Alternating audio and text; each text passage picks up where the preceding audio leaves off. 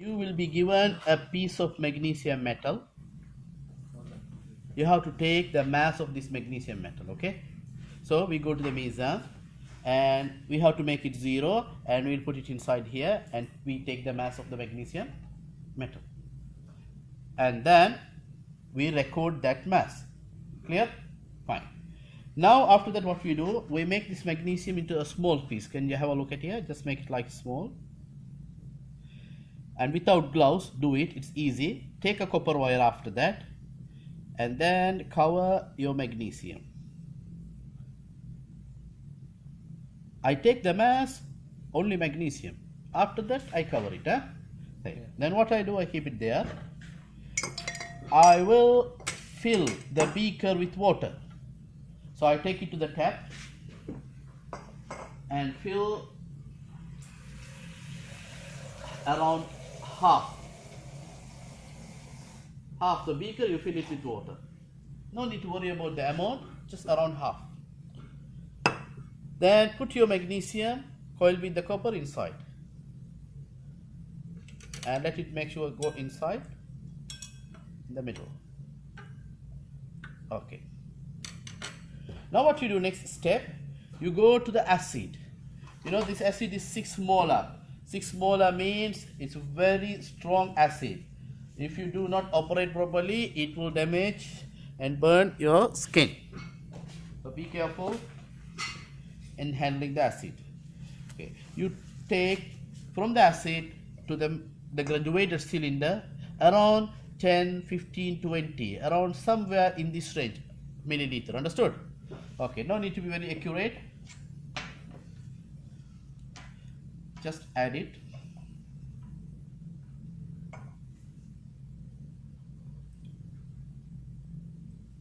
Around 10 15 milliliter. Okay.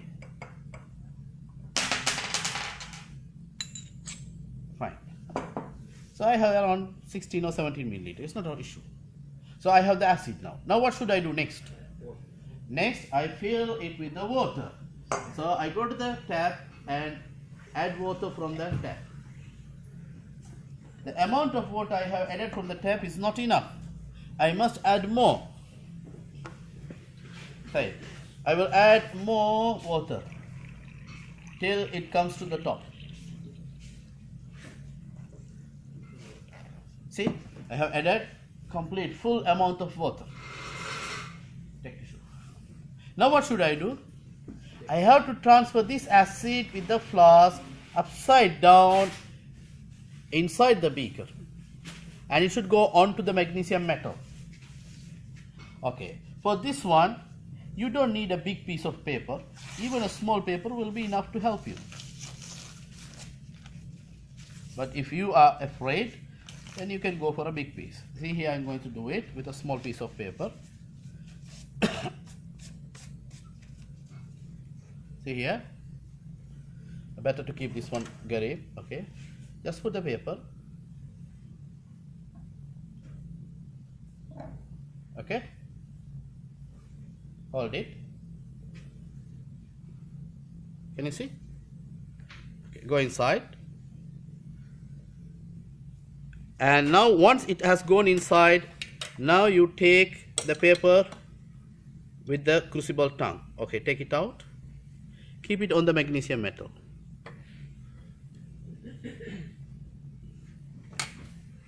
you can see the magnesium now started reacting with what?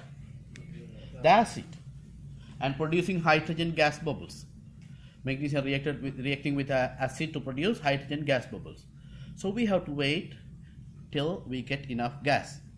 So what we have what are the measurements you are going to take? You can see here. We started from somewhere here.